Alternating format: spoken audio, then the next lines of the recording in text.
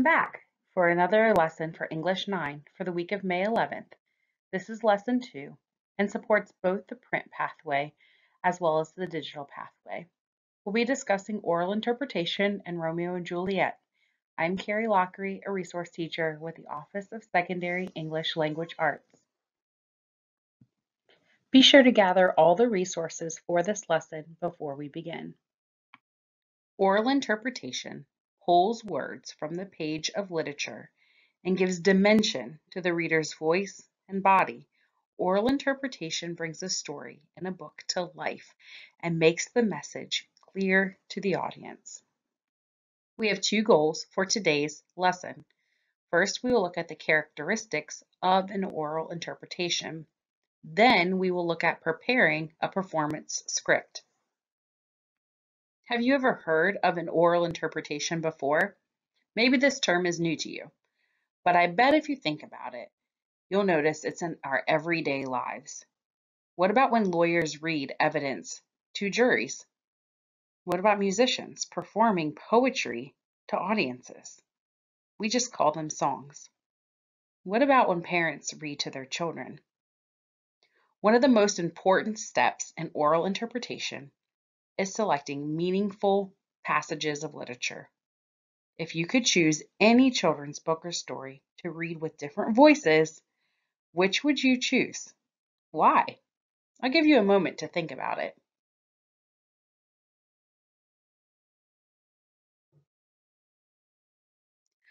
This week I wanted to share with you my answer to think about it. When I think of oral interpretation and stories, that are very powerful, especially stories from my childhood. I think of this book, Frog and Toad Are Friends. One certain chapter especially sticks out in my mind of a great one to use for oral interpretation. Here, let me read just a little passage for you. Frog ran up the path to Toad's house. He knocked on the front door. There was no answer. Toad, Toad, shouted Frog, wake up, it's spring. Blah, said a voice from inside the house. Frog and Toad continue to argue about what month it is.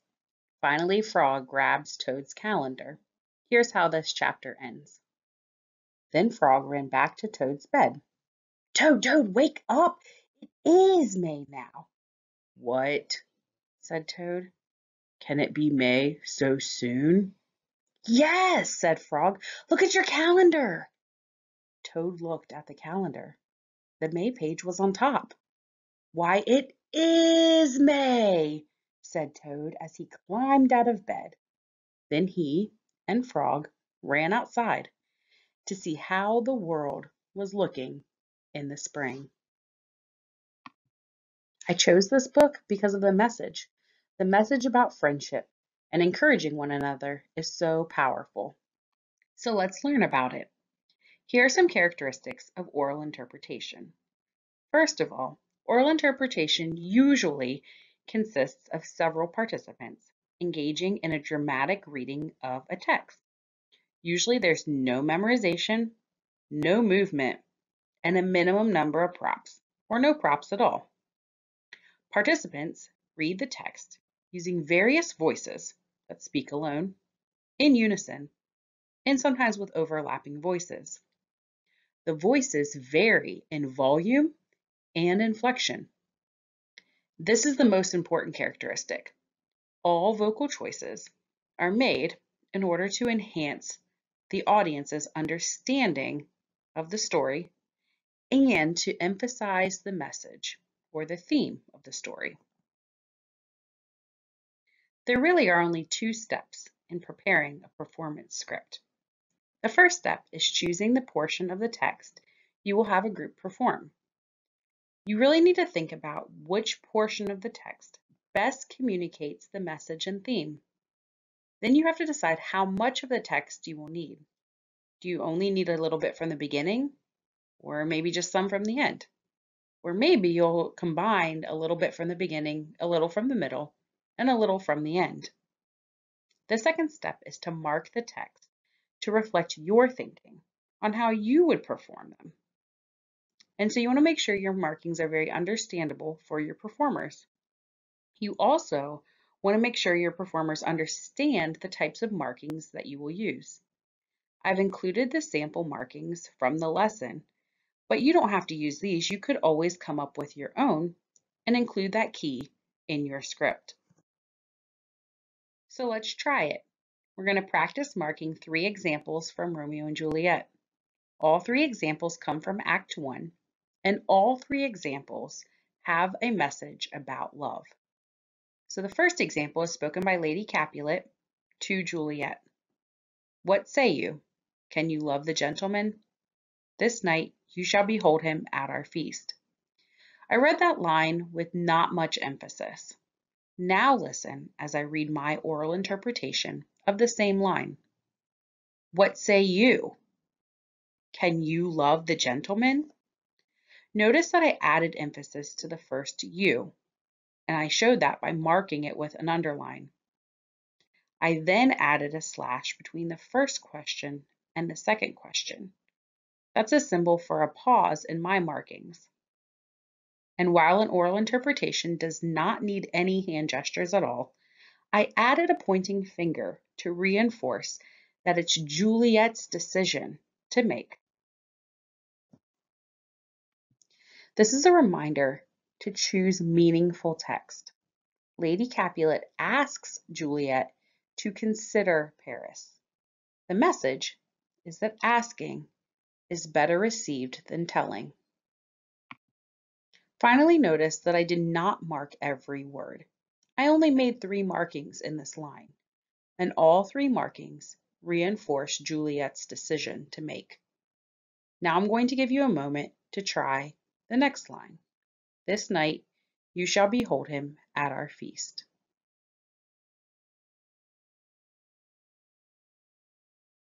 So let's try example two. It comes from Act 1, Scene 4. Mercutio is talking to Romeo about his personal views about love. Oh, then I see Queen Mab hath been with you. She is the fairy's midwife, and she comes. When I read it this way, it's easy to miss the meaning. Now listen. Oh, then I see Queen Mab hath been with you. Reading it this way emphasizes Queen Mab, a fictional, mythical creature of love. The voice inflection shows that Mercutio thinks love is just like a fictional, mythical story, a fairy tale. Now see if your markings can support that.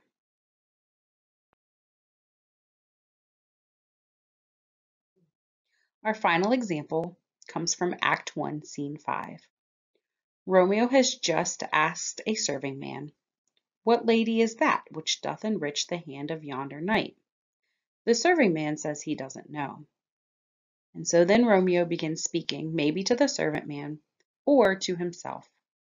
Romeo says, Oh, she doth teach the torches to burn bright. It seems she hangs upon the cheek of night. Now listen to my oral interpretation. Oh, she doth teach the torches to burn bright. Notice the pause right before she. That helps the reader or audience to focus on the female Romeo is talking about.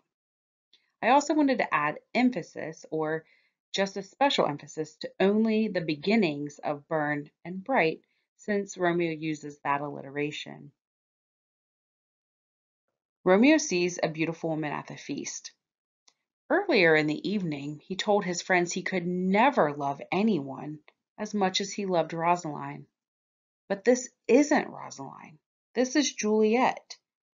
And so there could be many interpretations for what Romeo means by quickly shifting his love and affection from Rosaline to now Juliet. I'll give you a moment to try the next line. For this Show What You Know, you are asked to create a script for an oral interpretation using the markings from the Learn About It or creating your own markings and including a key. Here are some passages from Lesson 1 that are options for choosing a meaningful passage. If you are completing the print pathway, the passage has been chosen for you and the text is included in your resources. If you are completing the digital pathway, you will want to choose from one of these, or you may choose a different passage with your teacher's permission. You will also want to make sure to read your teacher's special directions about how many lines you need to complete. Your teacher may also share with you several different formats or options for submitting your work. For today's Show What You Know, we have a sample for you. It's the same text we used in Lesson 1. It's from Act 1, Scene 5. You'll notice the original text on this screen, and then we will show you our script. I have a special guest with me today, Sean Lockery, who'll be reading the parts of Romeo. Taking Juliet's hand. If I profane with my unworthiest hand this holy shrine, the gentle sin is this. My lips, two blushing pilgrims, ready stand to smooth that rough touch with a tender kiss. Good pilgrim, you do wrong your hand too much, which mannerly devotion shows in this. For saints have hands that pilgrims' hands do touch, and palm to palm is holy palmer's kiss. Have not saints lips, and holy palmers too?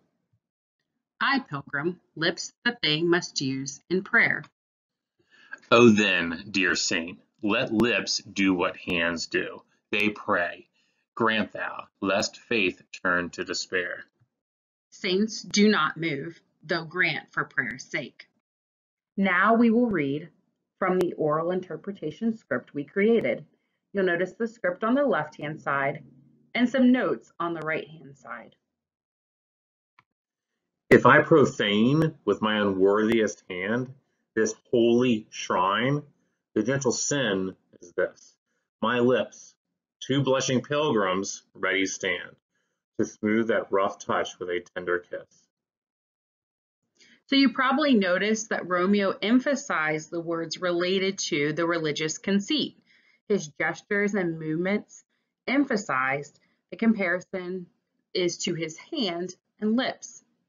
And so you may notice all the words highlighted in lesson one have now been underlined to emphasize them even more. Good pilgrim, you do wrong, your hand too much which mannerly devotion shows in this. For saints have hands that pilgrims' hands do touch, and palm to palm is holy palmer's kiss. Did you notice how Juliet's words were spoken both as a reply, but also as a flirtatious counter explanation? Have not saints lips, and holy palmers too? I, pilgrim, lips that they must use in prayer. So hopefully you notice Juliet's pacing with the words that they being two beats, followed by a slight pause before saying must use also as two beats, and finally adding another short pause before saying in prayer as two beats, emphasizing that word prayer. Your final task is to write a brief paragraph explaining your choices you made as you created your oral interpretation. Here is my sample paragraph. This section of the play advances the theme that love can be like a spiritual journey that requires dedication and patience.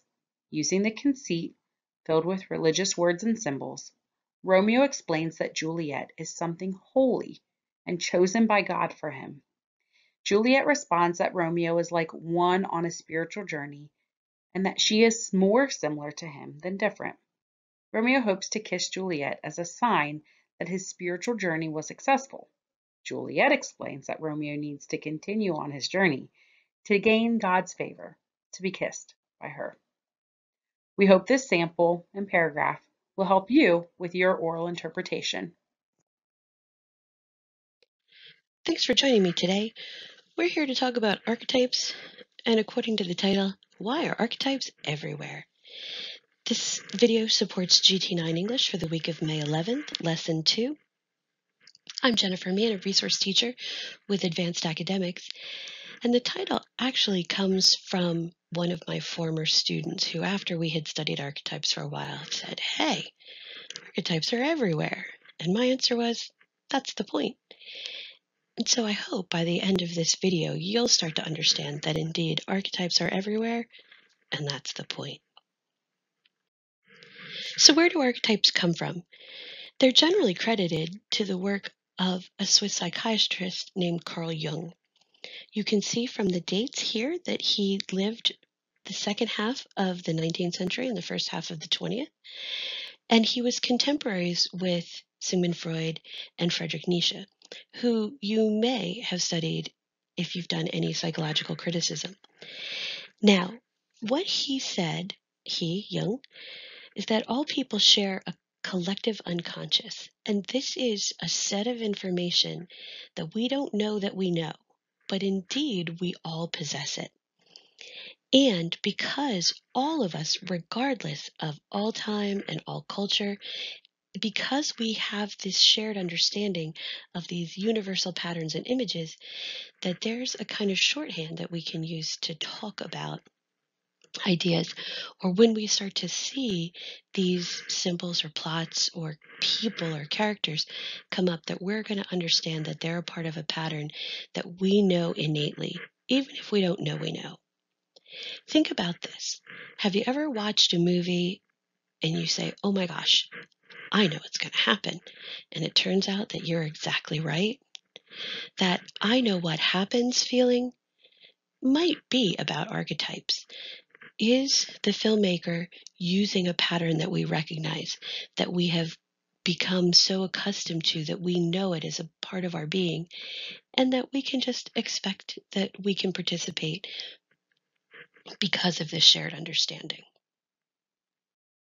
As people have studied more and learned more in psychiatry, the ideas of Carl Jung have been largely dismissed in that field but they do remain a very important part of literary criticism. Archetypes are really important as we study symbols, settings, characters, and plot structures because all of those use archetypes to add a depth and a richness. And the same way illusions do, they work as a kind of shorthand to help bring an enormous amount of information and richness to a character or to an event or to the arc of a plot that people will understand. And remember that understanding is innate to them.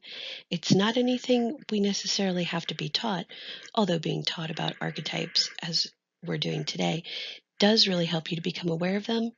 You already know them because they're a part of, remember that term again, that collective unconscious that Carl Jung believes we all share. Starting to look at situation archetypes, these are plot arcs or plot events that I think you're really going to recognize. Let's start at the top with the Battle of Good and Evil. That seems to me like every superhero movie ever made. We want Superman to win. We want Captain America to win. And more importantly than wanting them to win, we know they will win because that's what this archetype shows us that in the battle of good and evil, good prevails.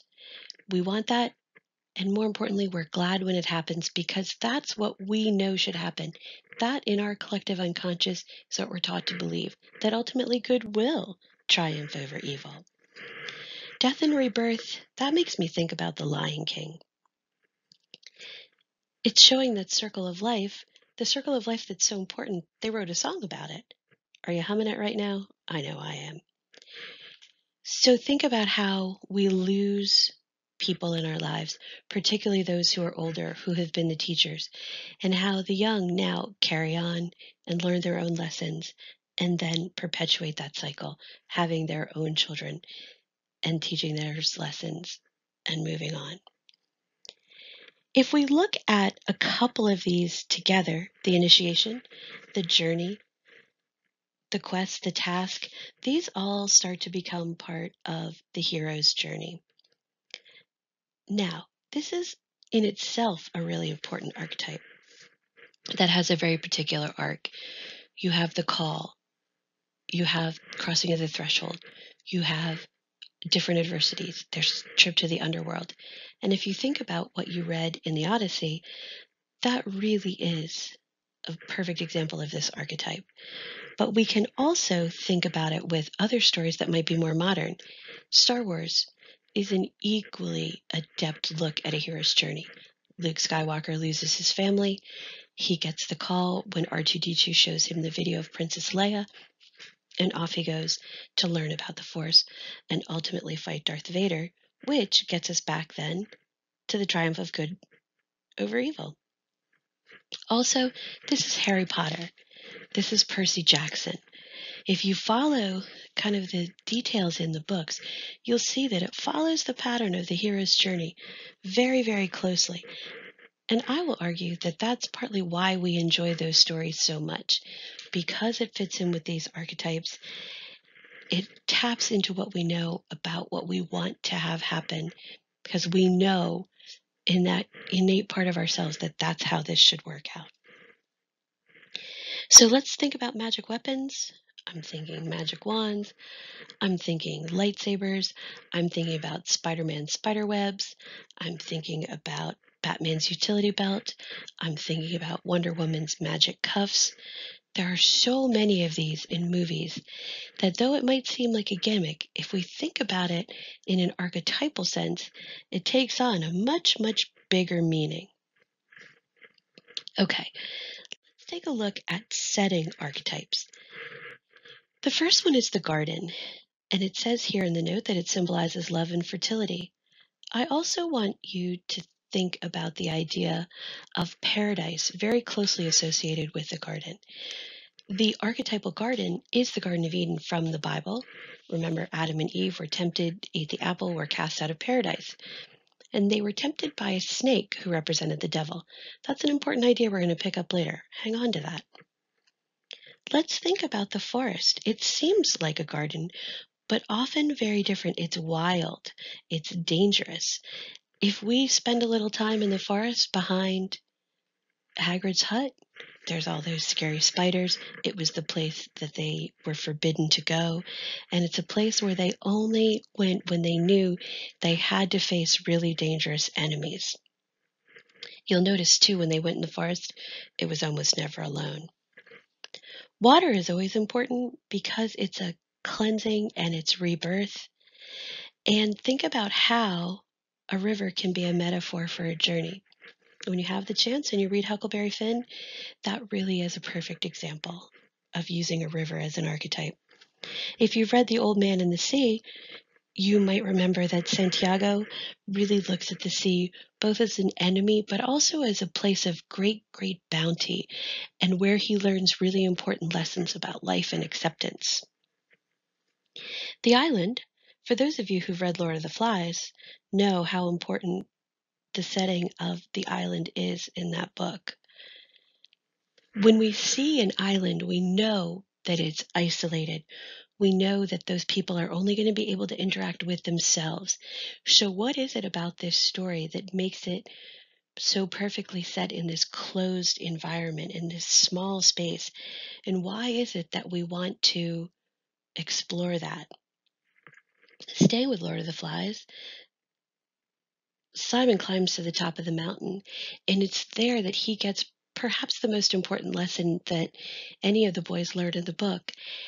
And think about then how, when he comes back down from the mountain and he tries to convey that message to others, what happens.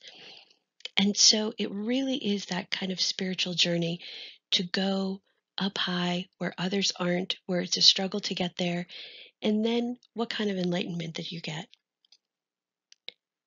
When I think about the wasteland, my mind immediately jumps to the Hunger Games. And let's think about all of the people from all the different districts and what makes each of those, those districts a wasteland of itself. And what is it that they learn there? What strengths do they develop? What kind of adversity can they face because of where their origins are in these wastelands? How about the small town? I'm thinking about the lottery, which we read a few lessons back. Immediately, when we think about small towns, it's in a way like an island. It's this really closed off environment. Everybody knows each other, but there's also probably an element of a long history. Think about how in this society for the lottery, they had these traditions that even though they all probably thought that it should end and it wasn't the right thing to do, they continue to do it year after year after year because it's so much a part of the fabric of that small town. Can you imagine if Shirley Jackson had set the lottery in New York City? No, I can't either. So think about all those films you've seen that take place in a small town and think about how it instills a particular set of values, how we have an expectation about the interactions of the people. And again, how that all taps in to that idea of archetypes. Character archetypes are what so often allows you to say, Oh, I know this guy. That's right, you've met him before. How about the bully? Isn't there a bully in every young adult book you've ever read? I think about Biff and how he bullies Marty McFly in Back to the Future. I think about Draco Malfoy and how he bullies Harry and poor Neville in Harry Potter. The bully, that's a guy we know. The creature of nightmare, think about all of the different monsters in Harry Potter that the kids had to face. I particularly think about the Death Eaters and how they fly in and can terrify an entire community just by their appearance.